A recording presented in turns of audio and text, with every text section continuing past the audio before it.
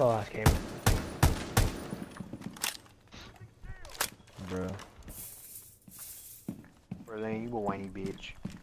But I'm Joe. Shut the fuck up, dude.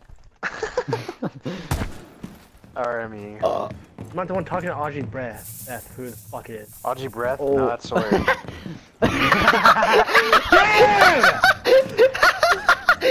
Bye,